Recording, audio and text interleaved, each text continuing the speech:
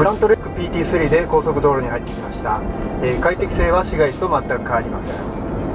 今レーンチェンジをします、えー、レーンチェンジの際の、えー、不安感、え SUV だからというグラッという感じは全くありません。その点も快適性につながっている部分だと思います。